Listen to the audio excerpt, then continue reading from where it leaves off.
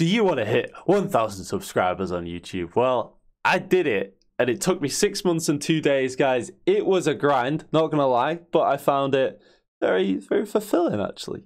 So, as you can see, 1,000 subscribers, and I just earned my first little bit of money. I earned 90p, so a dollar, in in a day or two, which isn't the best, but you know, it's a start and it pays for a few little sweets or whatever. So I've got five tips, guys. If you want to hit 1,000 subscribers on YouTube, this is what I did. Now, I appreciate different niches are slightly different. And uh, also, my format is unedited like this. So it helps, you know, with uploading twice a day. Bang, number one.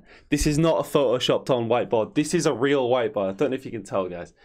It's uh so twice a day I uploaded. If you follow this format, you will have a good chance of hitting that key 1000 subscribers, getting monetized on YouTube, which is a big milestone, giving you the potential to quit your job, whatever, and maybe earn some money online. So, 200 videos is what I did.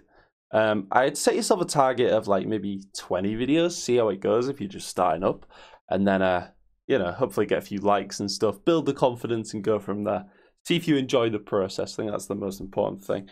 Um, entertain or inform. Now, I try and do a little bit of both, but I'm more on the informative side, I'd say. Let me know in the comments, guys, if any of my normal subscribers are watching this. Bit of a random video, I know.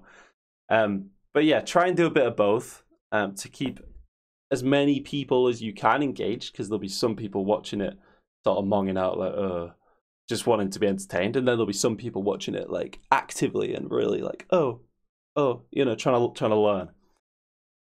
So number four, interact with the audience. So I always say like, "Hi guys," you know, you know, try and bring you in a little bit, and you know, maybe if you go on, off on an off on a informative segment, maybe try and bring it back and do something entertaining. Um, and then finally, respect the process. Uh, thumbnails and tags are like apparently tags aren't as important in the algorithm's eyes right now but I do good tags because the algorithm could be tweaked in the future and tags could again become very important. Thumbnails is what you see, it's what you click on. It's it's thumbnails and titles is pretty much everything when getting clicks, but do not clickbait. Do not put a fake title out there. You will get dislikes and it doesn't feel very nice.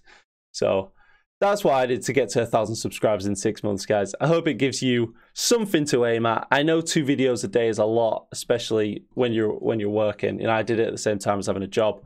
But again, I don't edit my videos, so it makes it a little bit quicker. But good luck to all you guys trying to hit a thousand subscribers. Thank you to all my subscribers for getting me there. And uh, yeah, cheers. See you next time.